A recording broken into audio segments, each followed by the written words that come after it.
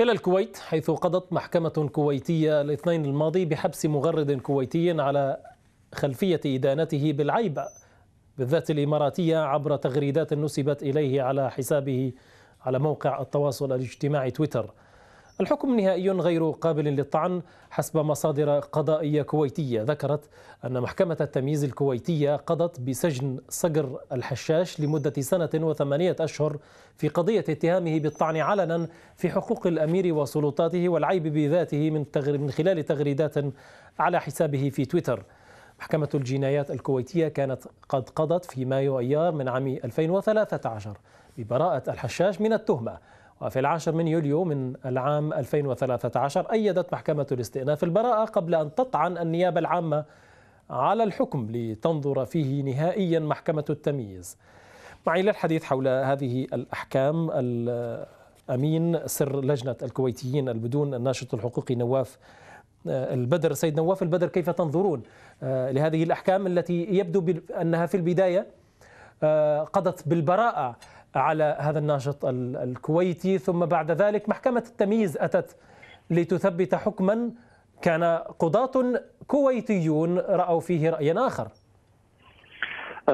في البداية المغرد والناشط الكويتي الشاب وهو من أبرز شباب الحراك المعارض في الكويت صقر الحشاش.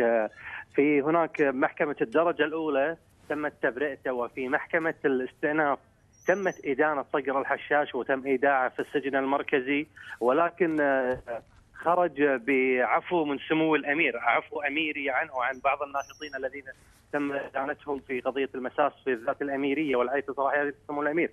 فصقر الحشاش خرج من السجن بعفو أميري عن هذه القضية. ولكن محكمة التمييز ويعني إحنا لدينا درجات التقاضي ثلاث في الكويت هو ابتدائي واستئناف وتمييز وهي آخر درجات التقاضي. آه تمت آه قضت في إدانته في السجن سنة وثمانية أشهر في العيف الذات الأميرية. ولكن يعني قرأت تصريحات لمحامين آه الناشط صقر الحشاش عن أن العفو الأميري آه ربما يحصنه أو يحميه. من هذه طيب ولكن هل يمكن أن يكون لذلك علاقة كما رأى بعض الحقوقيين بحبس النائب الكويتي البرلماني صالح الملا احتياطيا بسبب أيضا تغريدة له على موقع تويتر انتقد فيها السلطات أو انتقد فيها دعم السلطات الكويت للسلطات في مصر، هل يمكن أن يكون هناك أي ترابط بين هذه الأحكام كرسائل تريد السلطات الكويتية؟ ارسالها؟ هي هي هي رسائل ضد الحريات، رسائل تكميم اصوات بشكل عام، يعني موضوع النائب السابق وهو عضو المنبر الديمقراطي الكويتي صالح الملا قضيته أخرى مختلفة تماما، يعني لا أجد رابط لها نظرا لصدور الحكم ضد صقر الحشاش قبل حبس صالح الملا مساء ظهر اليوم قرار حبسه احتياطيا. صالح الملا تكلم عن لم يهاجم السلطات المصرية أو شيء ولكن لم يرحب في زيارة الرئيس السيسي ورفض أن يقوم أن تقوم الكويت بدفع مبالغ دعم للحكومة المصرية أو الرئيس عبد الفتاح السيسي.